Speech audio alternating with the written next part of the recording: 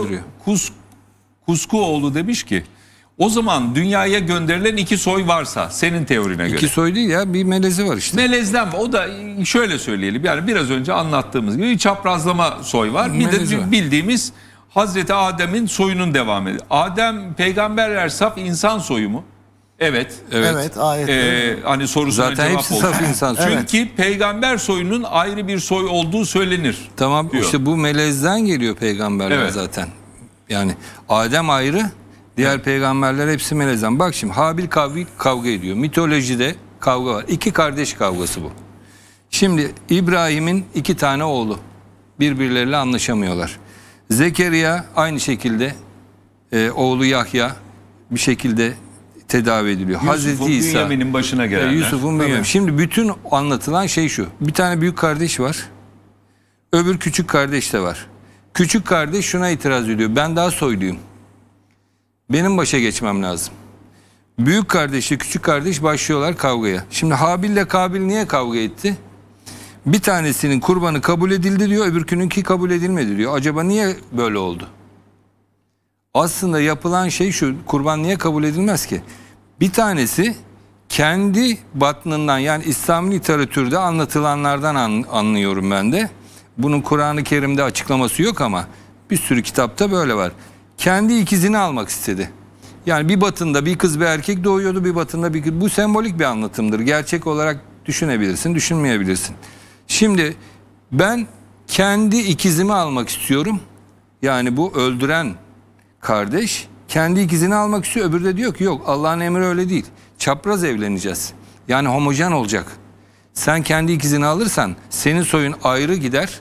Benim soyum ayrı gider. Dünyada iki tane birbirine düşman insanlık soyu oluşur. Bu da insanlık projesinin eninde sonunda yok olması demektir. Çapraz olması lazım. Çapraz Bu olması... mitolojide geçen anlatım mı bu? Bu Habil Kabil'i anlatıyorum. Yo, yo, Hayır, çok doğru yani- bir yerde. Şimdi bak Yani- buradan şu oluyor. Bunun kurbanı Tanrı tarafından Tevrat'ta veya Allah tarafından kabul ediliyor. Çapraz evlenelim, homojen olalım diyen. Öbürkününki kabul edilmiyor. Kabul edilmeyen tutuyor, onu öldürüyor. İlk cinayet burada böyle işlendi deniliyor. Şimdi mitolojide bunun çok örneği var. Hazreti İbrahim'in çocukları niye şey yapıyorlar? Yani Hazreti İbrahim'in bir tane ilk oğlu var. Hazreti İsmail değil mi bu? Hazreti İsmail nereden oldu? Bir Arap hanımdan. Neden? Onun çocuğu olmuyordu.